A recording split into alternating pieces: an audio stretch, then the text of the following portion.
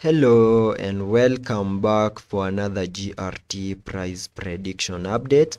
And in this video, I'll be diving deep into the technical analysis here on the GRT chart and also give you my next price targets. And before I do so, show some love by first giving this video a thumbs up, subscribe to the channel, and also check out the channel membership. And by first giving you my long-term outlook here on the GRT chart,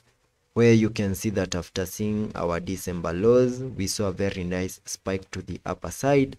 in a move that gave us a high at around the $0.2325 mark, completing the formation of these larger ADU12 count 1. Then afterwards, we started a very nice breakdown move in the formation of a larger ADU12 count 2, where we have been seeing lower prices in this ABC corrective structure.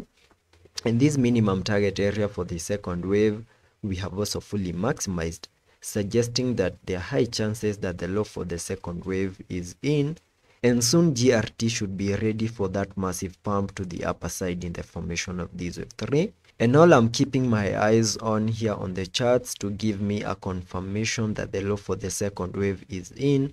is a complete five wave structure to the upper side followed by an ABC corrective structure. Once you see such a movement on the chart, then that will be enough confirmation that the low is in and the start of an impulse in that wave 3 has now started.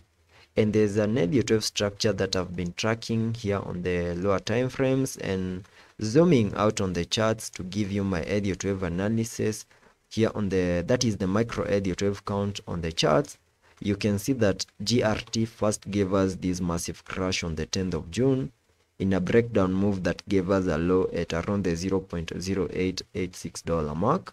Then afterwards, we have been seeing a very nice recovery to the upside in a move that has now peaked in that first wave, seen a breakdown move in the formation of this wave 2,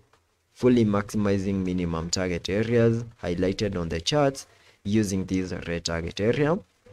then we saw that massive pump in the formation of that wave 3, where we peaked in that wave 3 at around the $0.1446 mark. Then we started a breakdown move in the formation of this wave 4 in a move that has now managed to get into the minimum retracement areas highlighted on the charts using this red target area.